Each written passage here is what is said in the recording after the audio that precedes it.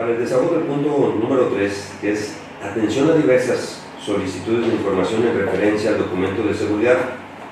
y a contenidos del documento de seguridad que realiza el titular de la unidad de transparencia para que este comité de transparencia determine lo correspondiente. Bueno, antes quiero, en estas solicitudes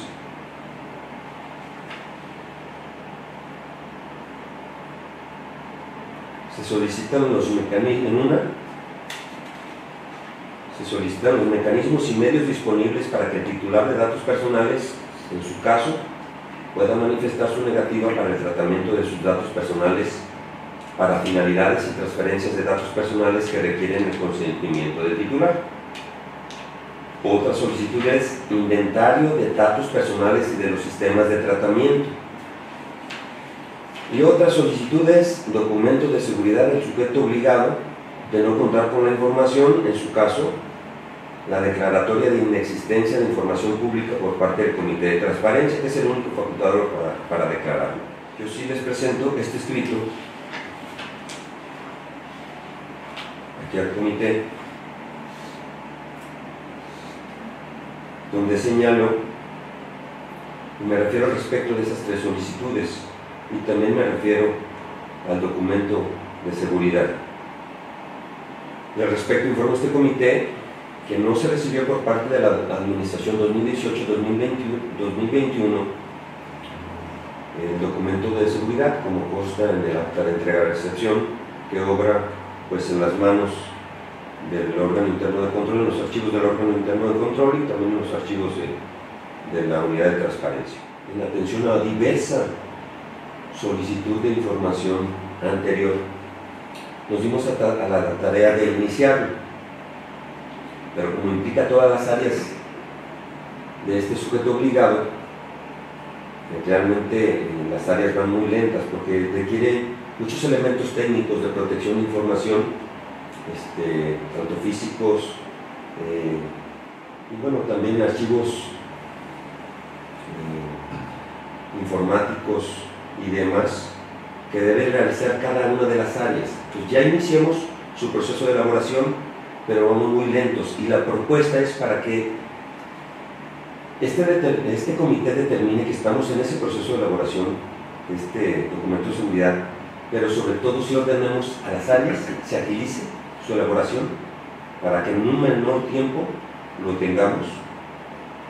para estar en posibilidad de atender estas solicitudes de información que realiza el ciudadano X. en ese sentido viene este escrito. A ver, ¿qué es ciudadano X? ¿Quién es? Eh, sí tiene un homónimo, un homónimo, por el correo, este,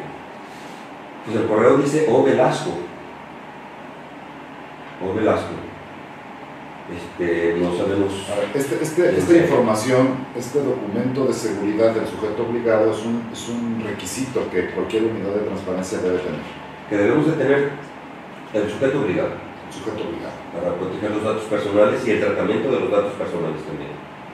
Y quizás, eh, bueno, no tengo la menor duda de que esta, esta información es importante que la tengamos y me da mucho gusto y efectivamente en ese sentido vamos a contestar. Estamos en el proceso pero quizás, eh, aunque no tengo ninguna duda de que cualquier ciudadano puede solicitar esta información, este, pues obviamente yo puedo eh, intuir cuál es la intención de esta solicitud. No importa cuál sea la intención en la que se ha solicitado por este usuario o Velasco, no importa cuál sea, hay que terminar ese documento, hay que eh, publicarlo, hay que entregarlo, pero definitivamente creo que, pudiera ser esta algo más que una simple solicitud de un ciudadano y también quiero que entendamos que desafortunadamente el derecho que tienen los ciudadanos, que tenemos los ciudadanos de solicitar información puede ser eh, una herramienta que se está utilizando con otras intenciones y con otros intereses y hay que comprenderlo también de esa manera. Y quizás el, conocimiento que algunos ciudadanos pudieran tener de la situación legal que guarda en este momento la unidad de transparencia y todos los requisitos, quizás la verdadera intención que tenga este ciudadano no sea el de conocer estos documentos, sino pudiera ser el de eh, poner en una situación de conflicto a nuestra unidad de transparencia. Sin embargo, creo que es una buena oportunidad para que nosotros cumplamos con la ley y atendamos en, oportunidades de solicitud. No estoy eh, seguro de cuál sea el tratamiento que este ciudadano, en su legítimo derecho de solicitar la información, no sé cuál vaya a ser el tratamiento que le dé a la respuesta. Que, que nosotros respondamos y digamos que está en proceso de elaboración, no sé qué implique, qué responsabilidades implique. Sin embargo, pues bueno, es una manera también de reconocer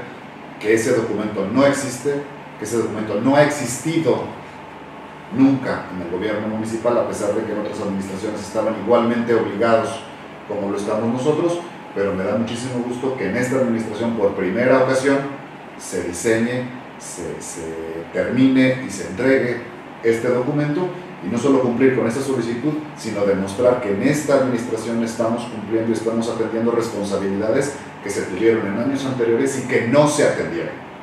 Entonces, eh, pues nos va a dar la oportunidad este ciudadano que se llama O nos va a dar la oportunidad de volver a demostrar como en esta administración si estamos atendiendo responsabilidades legales que por varios años en el pasado no se atendieron. Entonces, vamos a, a acelerar, te pido por favor licenciado, y le pido aprovecho también para hacer constar que quede en el acta que nos acompaña la coordinadora general de la Oficina de la Presidencia, quien es eh, la, titular eh, de esta unidad de transparencia. Les pido por favor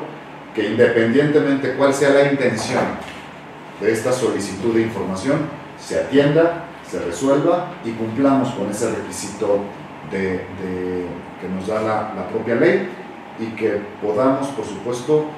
contestar esta solicitud pero lo hagamos público para que cualquier ciudadano que venga pueda contrastar que en esta administración se está atendiendo con responsabilidad todas las obligaciones en el primer año de esta administración y de esta responsabilidad.